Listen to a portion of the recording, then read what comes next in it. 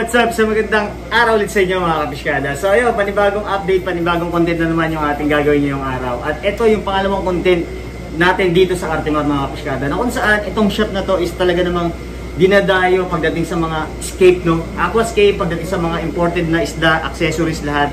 Dito nyo lang matutunghayan yan. At sisilipin natin mga kapiskada kung ano yung mga makikita natin dito, mga fishing accessories na nagagandahan. So tara, samahan nyo. Let's go! So guys, ayan, sa nakikita nyo, ito dito pa lang muna tayo sa labas. Papakita ko lang sa inyo, lahat ng mga stock, ito usually nakikita nyo yung mga more on pang aquascape, filtration, lahat ng mga, ayan, mga skimmer, lahat nandito. So ito, itong shop na to yung palagi kong binibisita at hindi ko to lagi talaga pinapalampas pag pupunta tayo ng Cartimar. So tara, pasok tayo. Kasi guys, bakit ko nasabi, dito lang natin makikita yung mga iba at nagagandahan ng mga isda. Imported tanks, gaya na sinabi ko. So tara, ayan.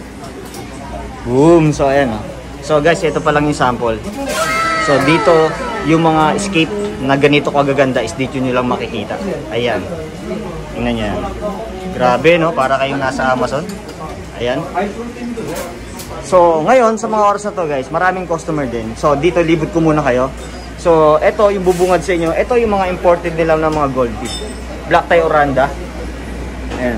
So naka black background, so medyo nag-ano lang yung ating camera, ayan. Pero dito sa baba, ayan, ito, tingnan nyo, ang gaganda, oh.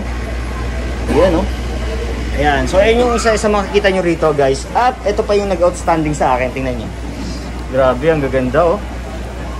Ayan, so dito guys, pag bumisita kayo sa Pet City, yung oras ng open nila ay from 9am to 6pm guys. At sa mga magtatanong kung pwede magpalalamove, pwede pwede kayong magpalalamove dito mga kapiskada. So, check nyo lang natin at ilalagay ko dito yung kanilang uh, FB page para dun sa mga inquiries nyo. At mamaya, sa mga magtatanong din guys, kung for example, mga may tenga kayong aquarium at gusto nyo ipa-aquascape, kung maliit, pwede nyo dalhin dito. At kung yung mga malalaki, yan, pwede na nilang i-home service yan pagdating sa mga gusto nyo design. So, bibisitahin nila kayo mga kapiskada. Pag pumasok kayo dito, yung shop kasi na to, bukod dito sa mga makikita nyo mga isda, ayan, So, ito yung shop na naka, naka, naka aquascape na rin siya. Pero ito mga for sale yan, guys. So, nandito ka sa shop na napakaganda yung setup. Tapos, ito ang gaganda pa ng mga laman na isda. So, guys, dito naman sa area na to, ayan. So, nakikita nyo. Ayan, pasilip ko muna sa inyo, guys.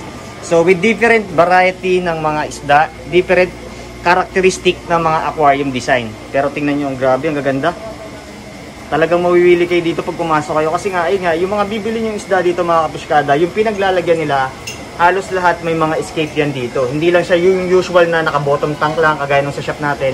Dito, makikita nyo, ayan, no? Grabe, no? Yung, yung karakteristik at saka yung detalye. Pero ayan, mga for sale din yan, mga kapiskada. Ayan, meron sila dito mga available na mga uh, platinum na angelfish. Ayan. Meron din sila mga sa baba, eto. May mga tiger barb. So, may mga gurami na tayo nakita dito. At AFR Guppy, ayan.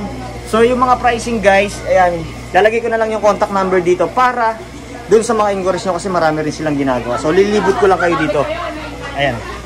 So, may mga kuha ko dito. Kuha ko swordtail. Ayan. Half black blue daw. Ito. Half black. Ayan. Na angel. Ayan. Tapos, pasok tayo dito mga kapiskada. Ito, ito yung laging uh, binibisita natin na area kung saan dito natin makikita yung mga monster fish. At ito yung mga nagagandang arwana niyan. Ayan makapansin nyo, may super red, may pasyatos, may silver dollar, may tinfoil. So ayan. Tapos grabe ang ganda ng setup nila dito. So dito pa tayo. So dito naman meron tayong makikita na different variety ng mga glow tetra. Gaya nito. So ayan. May purple tayo nakita dito. Ayan oh. So wala kasing naka-indicate kung magkano yung pricing. Ayan. Tapos meron din tayo nakita dito mga danyo. Ayan. So marami, marami dito kayong makikita. Ito gaya nito. So guys, ito yung mga iba dito mga gaya nitong isda na to. Halos hindi ko pa alam yung mga pangalan yan. So kung mapapansin nyo, ayan o. Oh. Ayan. So sa mga nakakaalam kung anong pangalan nito, mag-comment down below na lang mga kapuskada. Para alam din ng mga ibang kahabi natin. Ayan o. Oh. Ito, meron pa din. Skirt tetra. Ayan. So dito ay marami kayong variety ng pagpipilian. Tapos ito po. Albino, hindi ko alam kung anong tawag sa isda na yan. Ayan, oh. yan. Tapos, isa pa to, isa pa to. Itong uh, isda na to, hindi rin natin alam kung ano. Pasensya na kayo kasi yung mga isda nga dito, halos hindi rin natin kabisado kung ano yung mga pangalan ng mga yan. At ito, Black Tetra, ayan. Tapos meron din tayo na ispatan dito na parang neon tetra siya. Ayan mga kapiskada. Ayan. Oh. So ayan po.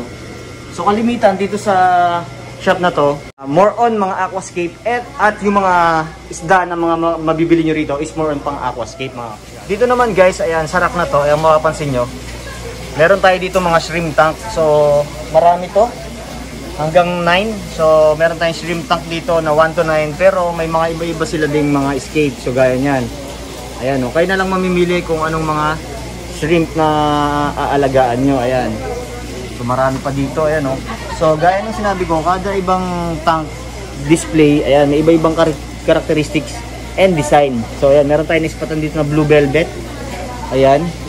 So grabe, ang ganda no, parang talagang ang lamig sa mata. Ayan no. So talagang pag ito yung ganitong setup, kahit napakasimple lang, talagang mawiwili ka rin na tambayan yung ganyan mga kapiskado. Oh. So ito, dito pa guys, meron pa ulit silang mga shrimp tank at meron pa sila dito mga guppies, ayan o. Nasa baba. So, pero dito more on mga shrimp ayan. Yan. Tapos dito naman yung iba't ibang klase ng discus. Ayan. Mga porcelain din yan mga kapisyada. Ayan o. Oh. Dito naman sa area na to guys, ito kung makikita nyo, ito talaga yung pinaka tumatak lahat sa mga bumibisita rito. Itong napakalaking uh, pand nila dito. Ayan o. Oh. Kung saan pero sila dito mga imported na Japanese koi. Ayan. Grabe, lalaki na na yung size na yan mga kapiskada. Oh. Ayan. Oh. So, parang na... Tignan nyo kung gaano kalapad. Oh. Ito sa taas. Ayan yan. Oh. Boom. So, parang pwede nyo samahan mga yung mga koi dyan. Tapos, ayan pa yung mga magagandang koi nila dito. I think ito, for sale din yung iba for sure dito. Kasi, pagkada bumibisita tayo, minsan iba-iba rin yung mga koi na ano, eh, papalit-palit ng mga kulay. Ayan. Oh. Grabe, ang ganda. So kung kayo naman naghahanap dito from substrate, lahat ng mga kailangan nyo mapa-exotic, meron din sila dito. At yung mga imported na feeds na kailangan ng mga isda natin. So lahat yan is nandito na. Ayan, kompleto na. From dito rin sa mga escape nyo, from dripwood at yung mga dragonstone, yung mga iba-ibang klase na pwede nyo gamitin. Available din dito sa kanila. At yung mga tanks with cabinet, gaya na sinabi ko yung mga imported tanks with cabinet, may mga enclosure, so lahat nandito na. At ito pa yung mga ibang feeds. Ayan medication na pwede nating ibigay sa mga isda. Yan, available din dito sa kanila. Lipo tayo. Tapos dito guys, sa mga naka-display dito, ito naman yung mga imported tanks ay no? mga curb tank. Ayan, so may nakita tayo dito, itong haba na to ay 1,900. Ito, I think parang mga 10 to 15 gallons to. Ayan, so kung mahilig kayo mag-aquascape at kung ito yung mga bagay na bagay sa mga office, sa mga kwarto, sa sala. Yan, maganda yung ano. Meron din silang customized dito na mababa lang, na mahaba. Ayan, oh. Yan, made in Taiwan pa mga kabiskada. Ayan. Tapos tingnan nyo pa yung isang set nila dito na ganito, tingnan nyo.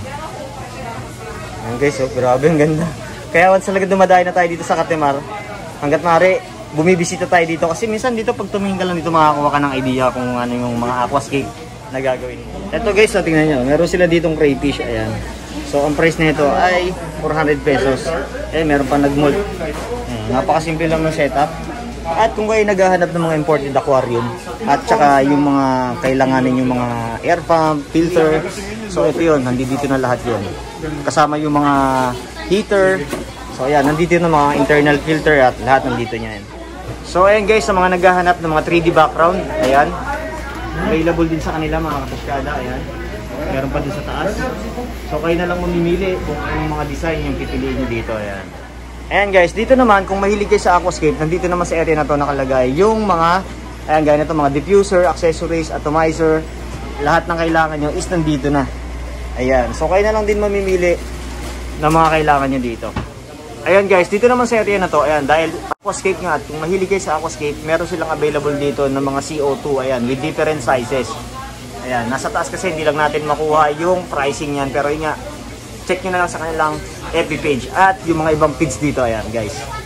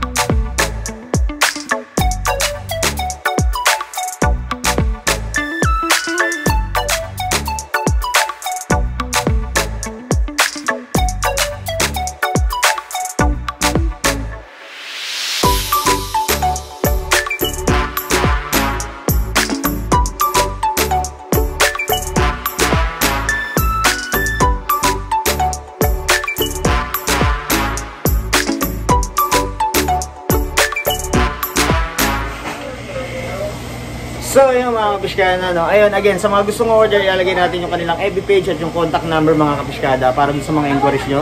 At, yun lang, bisitahin nyo to, Pet City. Dito lang yan, located sa Cartimar, Pasay. At, ayun, sa lahat ng mga gusto mong pa-shoutout, comment down below mga kapiskada para manotis natin yan. Enjoy lang natin yung hobby. The next vlog. Peace, yo, let's go!